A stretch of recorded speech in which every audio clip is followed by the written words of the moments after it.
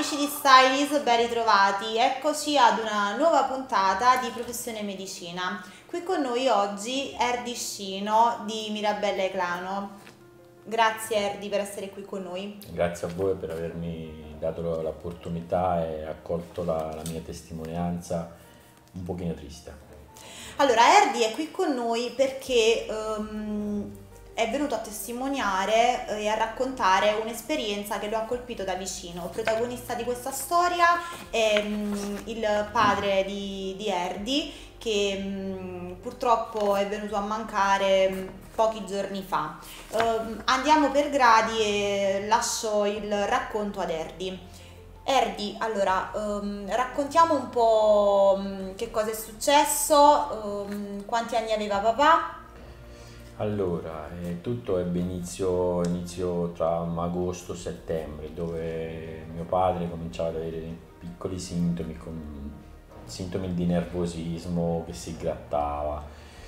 Dopodiché comincia a effettuare prime analisi, visite, dove risultano tutte, alcun, cioè, tutte positive, senza alcun problema però nel frattempo comunque giorno per giorno perdeva quelle piccole azioni quotidiane, aveva delle confusioni, eh, perdeva anche il, la parola, cioè non parlava fluente, delle volte si dimenticava anche di parlare italiano, parlando, continuando a parlare albanese, dato che noi siamo di origine albanese, quindi per questo. Erdi, eh, scusami se ti interrompo, eh, sottolineiamo al nostro pubblico che ehm, tuo papà è venuto a mancare per una malattia molto rara, è una malattia eh, di Creutzfeldt-Jakob disease, una malattia da prioni caratterizzata dal deterioramento progressivo della funzione mentale che porta quindi a una demenza, a una contrazione muscolare, tutti esatto. sintomi che esatto. apparentemente quindi potrebbero essere associati a tante altre malattie. Esattamente, esattamente. Infatti da, da ottobre, novembre, dicembre eh, mio padre effettua delle, delle, visite un pochino più specifiche con neurologi, eh, psichiatri, eh, però a loro com, come primi sintomi sembrava me, mezzo ictus oppure un, una, una, forma di demenza ma ancora non, non capita. Tuo padre quanti anni aveva? Aveva eh, compiuto marzo 59 anni. Quindi giovanissimo. Esattamente. Um, Erdi, tu um, credi che um, questa, allora, questa malattia uh, purtroppo non ha via di scampo perché è una malattia sì. che um, consuma insomma, la persona e quindi po- possono insomma, venire a mancare dai 5 mesi ai massimo 2 anni.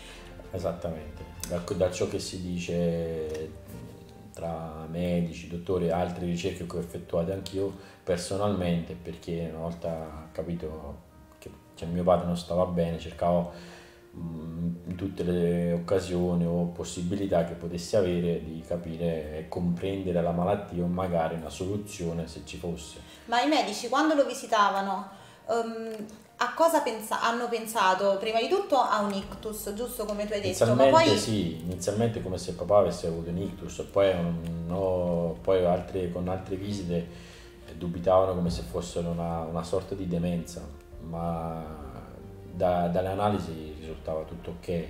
Quanto è stata dura um, la circostanza attuale? Um, tuo padre è ammalato, ricoverato in ospedale e voi che non potevate vederlo a causa del Covid? Infatti è stato abbastanza duro e difficile da accettare. La prima volta fu ricoverato il 16 febbraio, io il 16 effettuo un tampone proprio per andarlo a trovare, il 17 mi arrivano i risultati, ma nel frattempo già ero in viaggio nell'attesa. Arrivo in ospedale, cerco in tutti i modi magari di poterlo andare a trovare, dato che prima in precedenza non c'era possibile, dato che la moglie ci vietava tutto. Eh, anche di sapere come erano le sue condizioni salutari, eh, mi reco in ospedale, in ospedale mm, a parte il fatto che non, non mi fanno entrare, ma non potevo neppure sapere le condizioni, dato che la moglie aveva firmato e che non potevamo sapere nulla. Dai delle colpe a qualcuno? Al sistema sanitario? Allora, colpe non posso colpevolizzare o giudicare nessuno perché purtroppo ognuno deve fare il proprio mestiere, però magari a livello burocratico, a livello sanitario, determinate situazioni vanno gestite in maniera differente, con, con più cautela, più, con più urgenza. Avete avuto problemi nel prenotare le visite um, specialistiche? Uh, quanti giorni sono passati? Insomma, Purtroppo raccontaci di questo, un po'. Di questo non, non, ne sono a conoscenza perché sono stato tagliato fuori, tagliato fuori da tutto. Uh, se avessi saputo in precedenza magari potevo fare qualcosa in più, magari stare vicino accanto a mio padre in giorni migliori. Lo vedevo tramite una videochiamata, neppure standoci vicino, sempre per via del Covid, perché lui fu ricoverato per la seconda volta il primo marzo fino all'8 aprile. Lanciamo un appello. L'appello è di approfondire la ricerca di questa malattia, di capire da prima eh, o magari fare delle, delle, delle analisi precise, dettagliate da, da, fin da subito, in maniera tale che uno non deve aspettare un'eternità per poter eh, sapere la malattia o ciò che le spetta, perché in così breve tempo non c'è neanche il tempo di salutarlo, perché poi non, non, te lo ritrovi più. Voglio infatti sottolineare che mh, la malattia di Crespol-Jacob è anche denominata come morbo del, della mucca è pazza. È la mucca pazza, esatto, quindi è una malattia che molto, rara. molto rara che colpisce prettamente uh, gli animali da questo punto di vista, no? Però, Però poi ha preso diffusione anche verso l'uomo, anche... quindi per il, per il medico legale che ci ha raccontato eh, in 40 anni di esperienza era il decimo caso.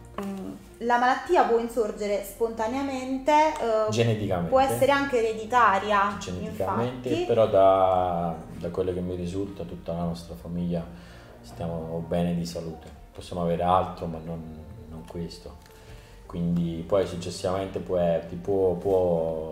può, essere anche acquisita mangiando manzo o prodotti a base di manzo. E non solo, può, si può anche acquisire con trasfusioni? Con trasfusioni o addirittura con, a, assumendo delle proteine per l'infertilità. Insomma, è una, una storia triste um, questa che, che ci hai appena raccontato um, però mi auguro che um, la ricerca um, nel campo sanitario e medico, uh, soprattutto qui in Italia, possa essere sovvenzionata quanto più possibile in modo tale da poter aiutare tutti coloro che soffrono di determinate uh, patologie rare. Erdi, uh, te la senti di mandare un saluto o vuoi dire qualcosa, qualcos'altro? Allora, quello che mi sento di dire godiamoci ogni istante della nostra vita, con genitori, amici, famiglia, eh, fidanzati, non, cioè ogni che oggi ci siamo e domani non si sa.